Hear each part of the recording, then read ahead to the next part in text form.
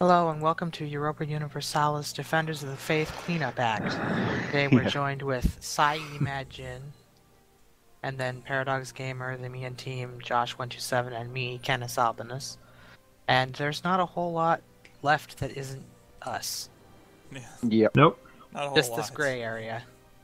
Just this little gray area.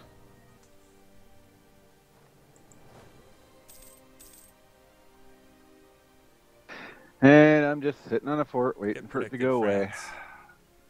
I just got imperialism. Yay! Just? Like crap. Just now. Wow.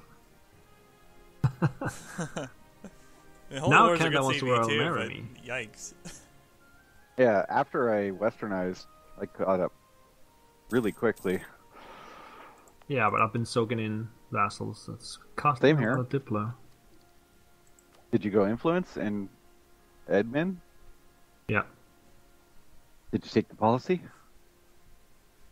I What liked because I Oh, went influence? influence, I and diplomatic, and I put some in exploration, and I was like all vassal feeding. It took me, but I focused Diplo for a long time, which is why I caught up Hmm. still. Ah, there it is, Regency.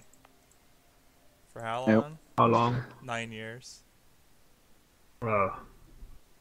Alright, on a pause. Yeah, I guess.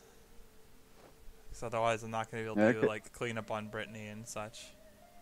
Yep. Okay, we'll be back. Sorry. Yep.